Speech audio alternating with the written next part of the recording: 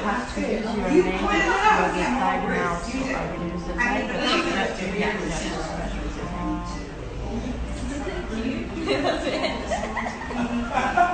Yeah, I've never seen that because Yeah.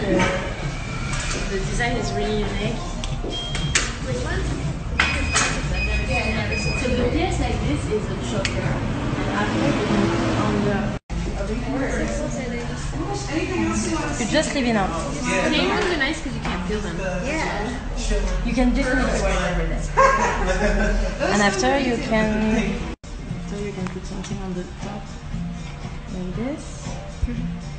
We're building. We're building a hand.